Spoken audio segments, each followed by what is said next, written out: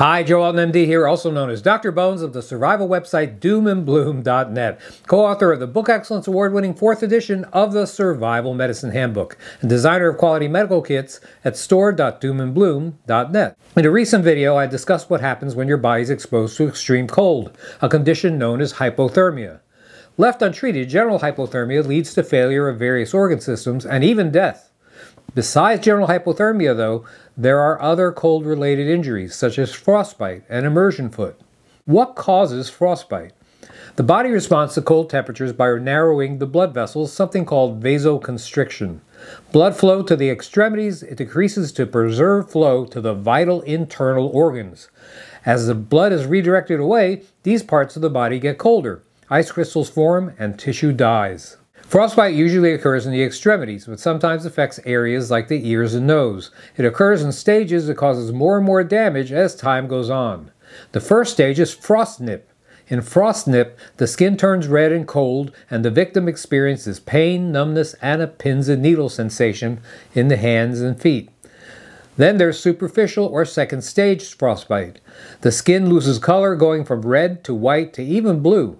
At this point, tissues are freezing and the tissue texture changes, becoming stiff and waxy.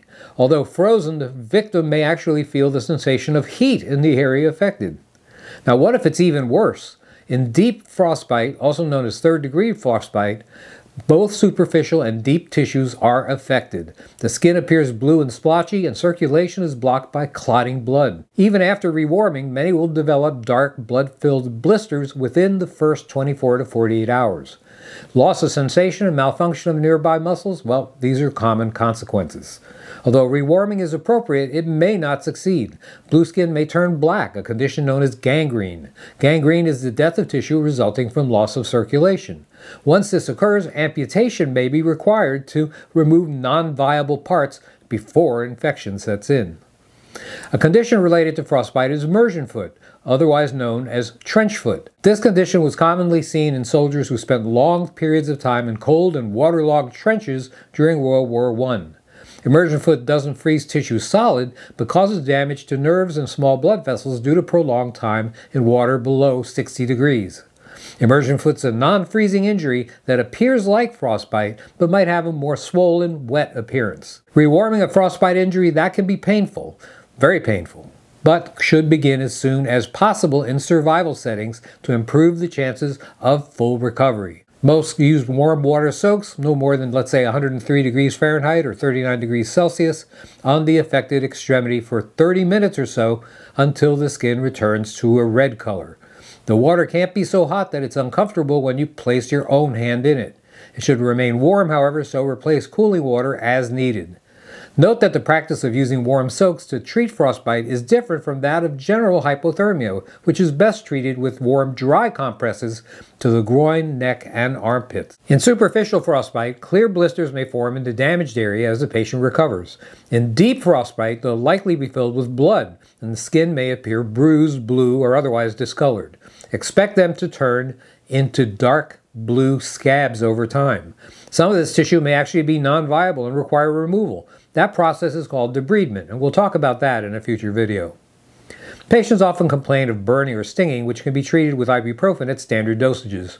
This may or may not help the pain much, but will decrease the constriction of blood vessels and decrease further tissue damage. That's very important. If you can help it, don't use the frozen extremity for walking, climbing, or other activities. Although many victims recover completely from superficial frostbite, others have permanent issues with pain or numbness in the affected area.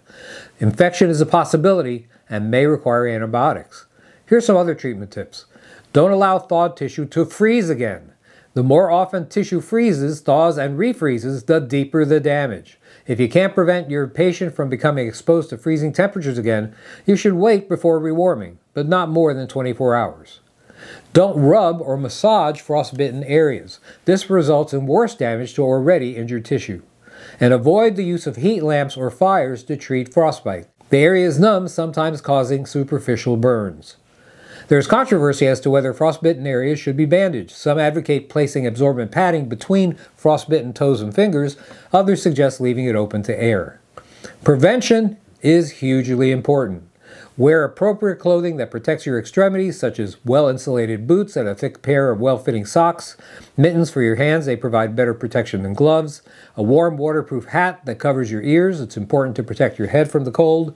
And multiple thin layers of warm, dry, loose fitting clothing which act as insulation. Have extras available in case they get wet. This is Joe Alton, MD, that old Dr. Bones, wishing you the best of health and good times or bad. Thanks for watching.